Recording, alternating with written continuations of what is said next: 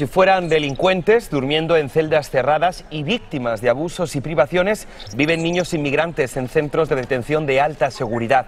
Esto según un informe que un grupo de abogados entregó al Congreso estadounidense, el cual revela que los menores pueden pasar hasta más de seis meses en las prisiones diseñadas para jóvenes que han cometido algún delito precisamente antes de ser devueltos a sus familiares.